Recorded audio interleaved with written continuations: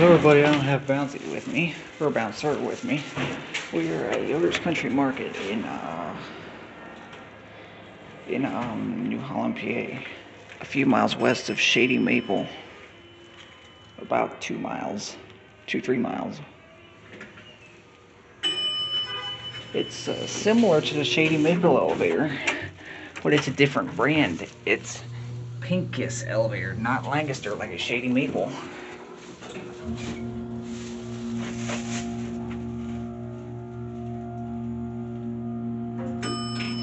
Here we are at two.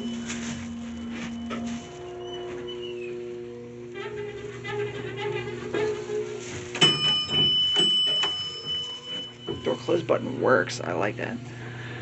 The second floor is mainly employees only, except for hearing aid center right across from the elevator. What's behind the pads? Plain walls, generic walls. Here we are at one. ADA compliant phone. There it goes.